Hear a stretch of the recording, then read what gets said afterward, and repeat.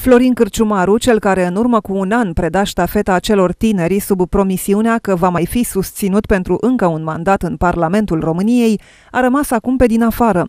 Până în ultimul moment a primit asigurări că va ocupa un loc pe lista PSD, însă nu a fost așa.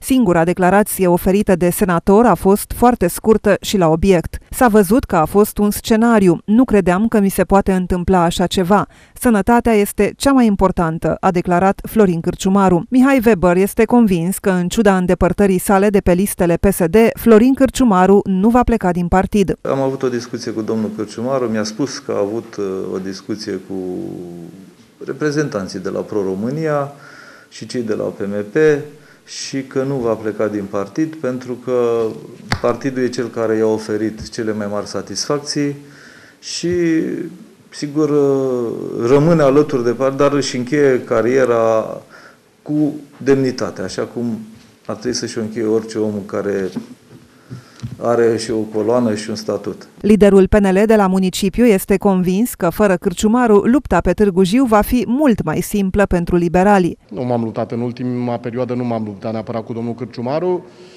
Personal, cred că este o pierdere pentru Partidul Social Democrat. Vom vedea în alegeri ce se va întâmpla.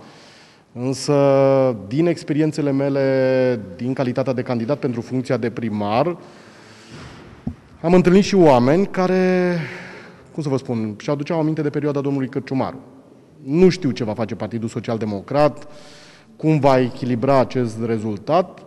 Eu mă bucur pentru Partidul Național Liberal. Sunt sigur că rezultatul pe care îl va înregistra Partidul Național Liberal la nivelul municipiului Târgu Jiu va fi un rezultat bun spre foarte bun.